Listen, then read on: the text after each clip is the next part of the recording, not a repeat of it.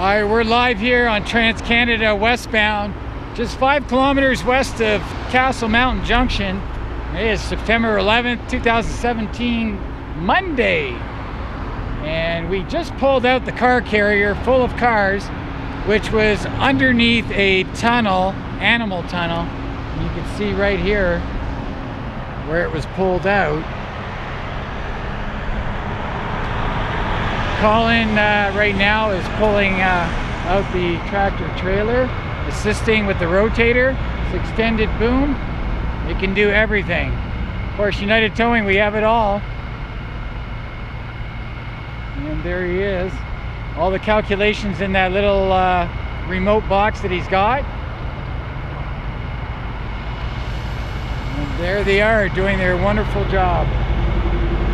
Thanks United. I'm Crazy Larry. We're live on location.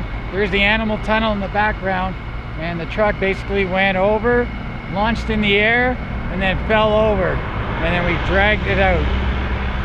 We plucked a bunch of the cars out. All right, let's make this one little clip quick.